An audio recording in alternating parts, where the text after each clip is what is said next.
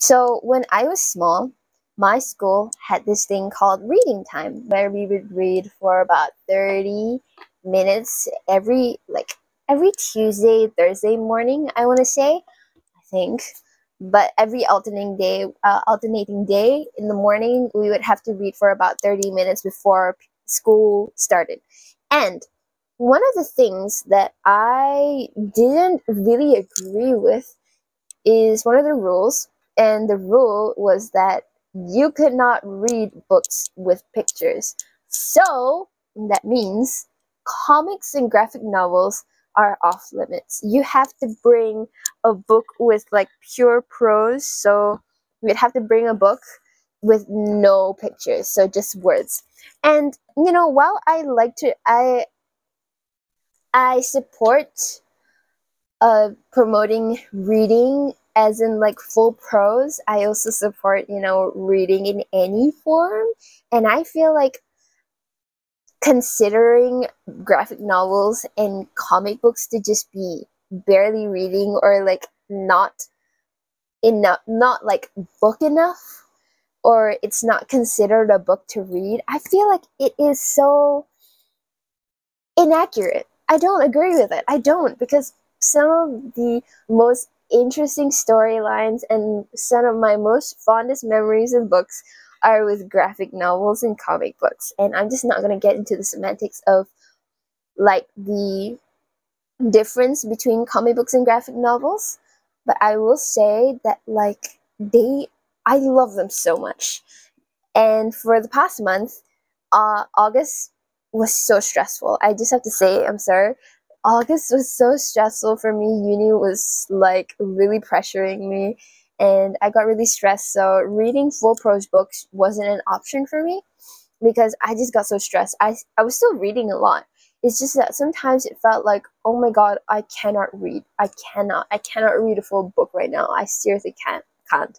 So I went to reading graphic novels and comic books, and it just like reignited this certain love for it for me because I've always loved comic books. I'm just I'm, I'm gonna show you like some of the comic books that I've read in my childhood, and yeah, I I love comic books so much because how could you say that it's not considered it's not considered reading because it it's so gorgeous. I feel like just because it has pictures doesn't mean it doesn't have a story to be told. So one of the one of the comics that I read in my like I don't want to say reading slump. I want to say my stressful time is Daredevil. I read this. This is the the Soule Daredevil. Uh, it was published in 2015, if I'm not mistaken. Yeah, I, I think so. I think this was published in 2015. So I read this along with the other two. No, this is volume two. I read volume one online and then I uh, I read till volume three, but then I realized I had to read the Mark Waid one, these ones. I had to read these as kind of like a pre- prerequisite, and so I'm reading that now. The Mark Waid Daredevil of 2014, not the earlier ones, 2014 specifically. And oh, oh my god, uh, I'm not sure how I feel about the art in this one but I absolutely love the Mark Waid one. It is so gorgeous. I'm gonna put up some some like screenshots on the screen, and I love comic books so much. And I'm just also gonna show you one of my favorite manga because I manga is also you know comics and graphic novels, and it is Land of the Lustrous. This is my favorite cover for Land of the Lustrous. Uh, I'm not going to tell you who this is because I did it in a previous recording I did, and I think that's considered spoilers. But this is one of my favorite. This is my favorite one actually, and the story is just so gorgeous, and the the art is also fantastic. It is so like it brings you in. I feel like draw the illustrations just add to the story. It tells the story much more than much more and yeah. I think you can tell how much I love comics. Okay, I'm just going to show you some of the other comics that I read when I was younger and all. So one of the comics that I read were was Archie. Jughead and Archie and Betty and Veronica. So the, I read these because these are very accessible to me. Uh, the co- the convenience stores had them, so the convenience store selling magazines and all, they would have like these little issues of Jughead and Archie as well as Betty and Veronica. And I would just buy them from the convenience store and then wherever I went, I felt like reading, but I couldn't like bring a full book to read. I would bring one of these comics, and it was just it's so fun. It's so fun, and I loved Archie so much that my parents compelled me to buy the 1000 page jamboree and till this day i still haven't finished this. I think i'm like a few hundred pages in but i have never finished this and i think one day i should finish it. But also oh my god. I, lo- I really love comics if you can't tell. But Archie is one of my favorite uh, comics to read because it I feel like it's a connection for for me and my parents. And you can see that I bought this even before Riverdale started like airing because it's this is the poster for Riverdale before it became like a show even. So it says here coming 2017 if the camera can focus. It won't focus, but it says coming 2017. So yeah. And some of the other comics that I read were local ones. So these are the ones published by a local publisher. They're huge.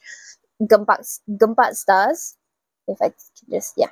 So these are two different collections. So this is part of the World History Adventure Comics. Oh, dear goodness. I think I haven't divulged this information to you guys uh, before, but I love his like shows and books relating to history and geography. So the this this is the World History Adventure Comics. So they would tell you about history of a certain country with their different historical time periods and they had different destinations and all and oh my god this is so up my alley. And the, what i love about these comics is that they are educational as well. So in between of chapters inside the book they would have little infographics. So they would have like a little page of information. They had they have pictures they have information about the the things in the country and I traveled the world with these comics, baby. I traveled the world. And it is it's so fun because it's educational, it's it's enticing, it's uh, it's fun and it's much easier to read when you're having fun you know some people might might not have fun with full prose or they might find it difficult to focus on the text and reading comic books is just as valid an option as anything else. Okay, I'm also going to show you the other collection from Gempak Starz. And this I'm this is called the Prince series. So basically there are a bunch of different princes and every issue has a dedicated topic. So this issue is a, is dedicated to sportsmanship. I don't know if it's gonna focus, but it says sportsmanship down here and inside it's also educational by the way. So in between of chapters they would have like these little infographics. So they tell you how the game goes and then they have a little faq if you have any questions. And okay this one is about history and culture.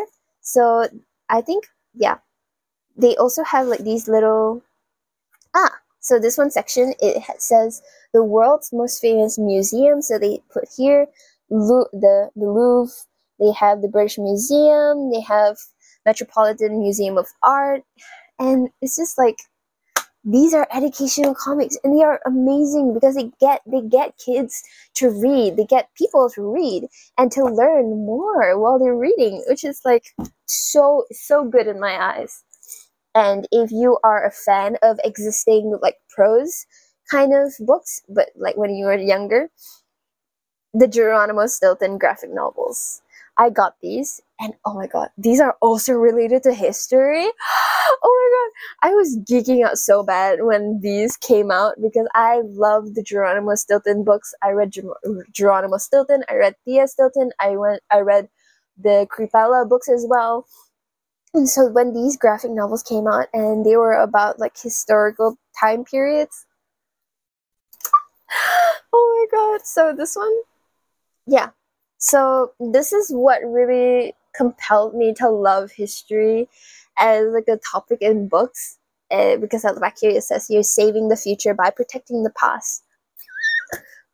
you can tell I'm really geeking out about this. Oh my god.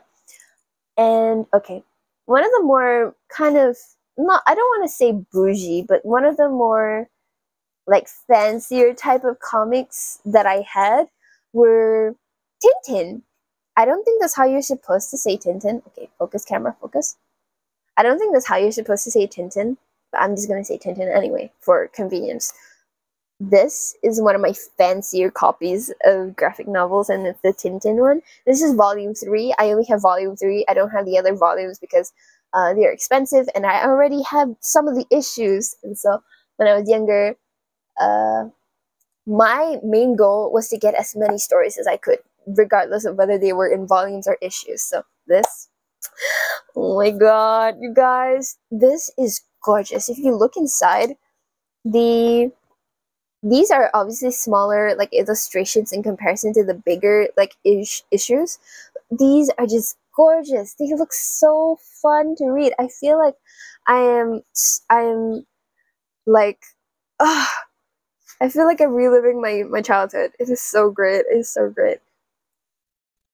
And the pages feel so fancy to like flip through. I feel like I'm holding a collector's edition when it's not. It's not. But it's just so near and dear to me. These are some of the bigger like issues that I have. I remember this one. I really like liked this one.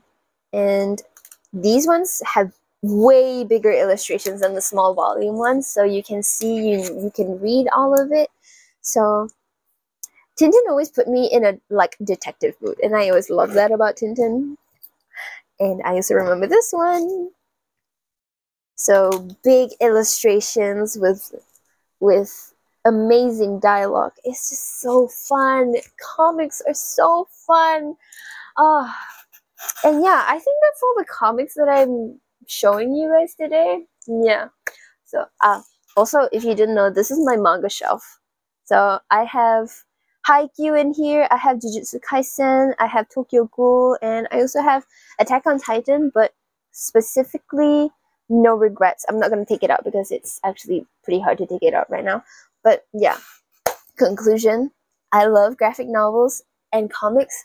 I feel like they should be considered reading it shouldn't be considered as like barely reading or not reading because it has pictures because for me i feel like my relationship with comic books and graphic novels is so near and dear to my heart. They have been so educational for me.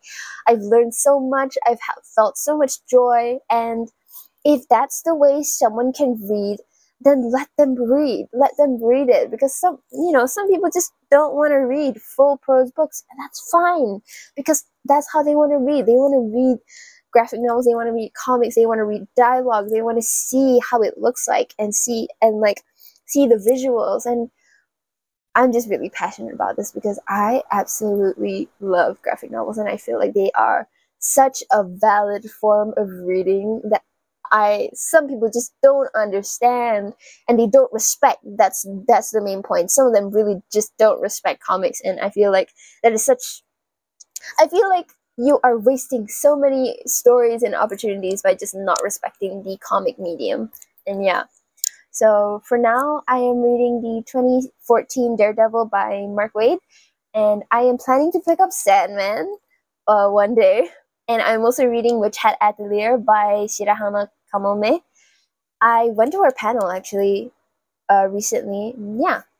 So that's just all I had to say. I just wanted to tell you guys about my love for graphic novels because yeah, I love it so much. I think you can tell from like the entire the entire video and how I was talking about like graphic novels and comic books and yeah. I hope you also find the form of books that you absolutely love because well, I love prose, like full prose books. I do love them. I do, I do. I think comic books and graphic novels will just always have like that small special place in my heart that I will like never be able to explain fully my love and affection for them. So, yeah. Okay.